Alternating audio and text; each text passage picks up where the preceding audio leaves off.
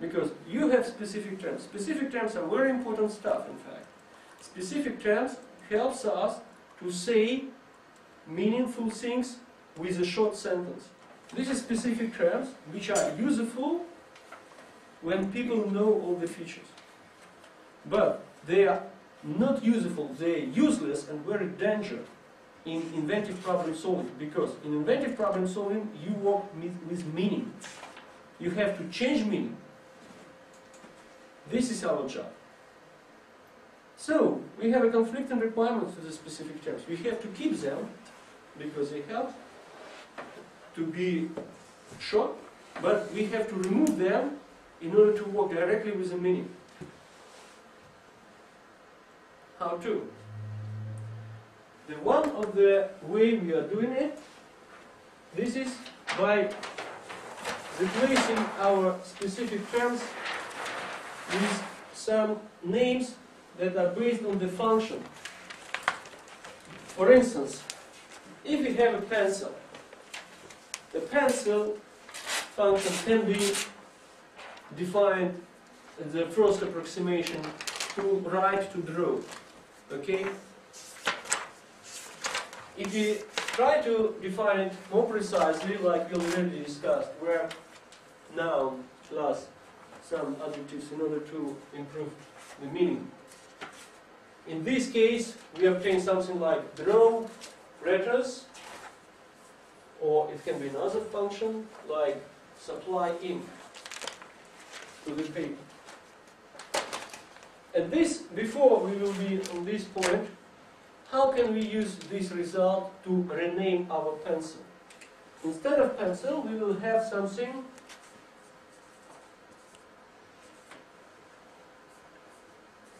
drawer.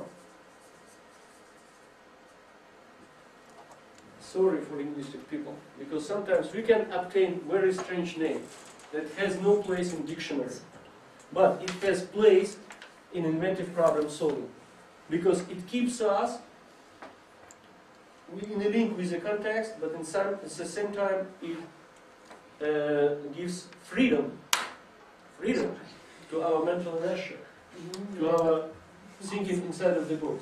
For instance, you see the excavator, the machine on the road. Okay, what does it do if I try to express it as a verb? It dig, dig soil, okay? In this case, we have a digger kind of childish word. But the digger can help us to invent new working principle of excavator. Because we are limited from our picture of about excavator. Our drawer, it's not pencil anymore. It can be finger. Do you remember the presentation you attended at the first, uh, the first evening? It can be finger. It can be anything. You need to draw. It's a drawer. It's not pencil anymore. In order to check the quality of function definition, we use supplementary rule. You have to reformulate this function, but in terms of verbs, you are limited. You are allowed to choose just one. Change. Nothing more. Here you had a draw, you, had, you can use any verb. But here you, have, you are allowed to use just one change. What are you changing when, when you draw in letters? You change the color.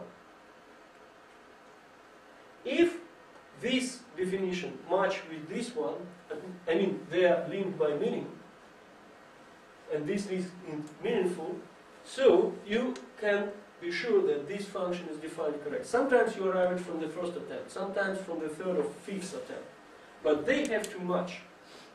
They have to match and they have to describe what your pencil mean in your situation, in your problem. Why it is so important, this definition of function change and feature?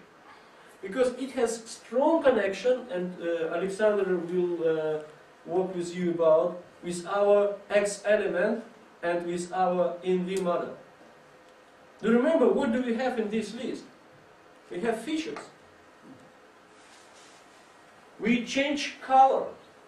In fact, this is one of the features that our element that we have conflicting requirements has to satisfy. So we still keep link between all the components. Our specific terms are linked with what we try to solve through their features.